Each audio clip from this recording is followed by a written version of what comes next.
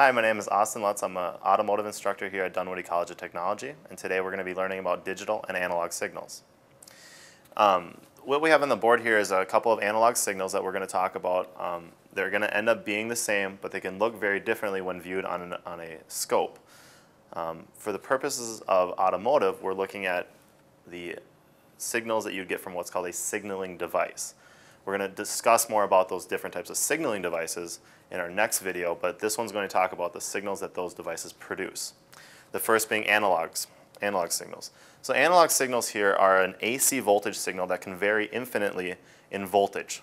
And by infinitely means we can look at any point on this, on this line and we can get that voltage. So we can pick a million points on this. It can vary all over the board. This can be raised, lowered, whichever way we want to. We can get any type of voltage out of this signal that we want. Also, the signal can be either positive or negative.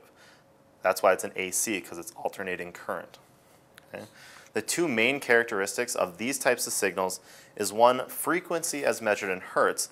And when we're looking at frequency, the types of things that we're looking at is how often we see a full wave. So starting, say, at this point here, and ending at this point is a full wave, or that's one cycle. Okay? On this drawing, we'd be starting at roughly this point and ending at about this point. So we're looking at one full cycle of any given wave. That tells us how often we're seeing that per second. And that's what a Hertz signal is. You can use your DMM to measure this Hertz signal to see if there's any output from this type of a sensor. The second type of characteristic is the amplitude as measured in AC volts. The overall amplitude of any signal is measured from the lowest to its highest. So we're measuring the amount of voltage difference from the lowest up to the highest and we're getting that in volts AC. If we set our meter on DC, that's going to average those two numbers and it's going to give us a baseline zero. That's why we have to make sure that our DMMs are set on AC voltage when we take this measurement. Digital signals are the next type of signal we're going to talk about. Digital signals are a DC voltage that vary between two different voltage levels or values. So in this case, what we're, what we're varying between is this baseline, which maybe is one volt, up to the top, which is maybe 6 volts. Okay, so there'd be a range in between these. All of these are going to have that same identical range.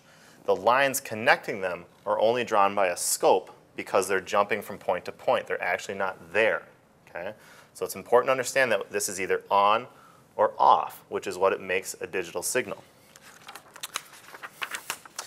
The signal can either be negative or positive. I drew this as a, as a positive graph because anytime if you're looking at a signal, you can flip your leads around and it would just make it positive or negative depending on how you have your leads.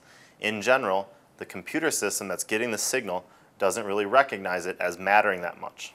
The two main characteristics of a digital signal are the frequency as measured in hertz, same as an analog signal. So we're looking at things from when they start at this point to when they would go back to zero at this point. That's then measured in hertz. The second is duration as measured in, in generally milliseconds of on and off time. So the duration would be measured from, say, this point to this point, or from here to the end of this. This would be on time, and this would be off time. There are more elaborate ways of looking at these measurements as we start to talk about on and off time.